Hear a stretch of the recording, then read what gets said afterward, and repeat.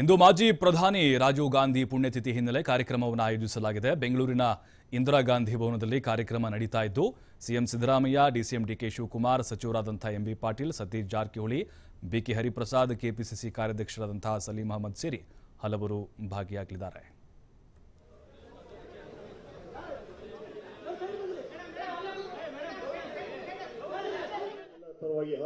ಸ್ವಾಗತವನ್ನು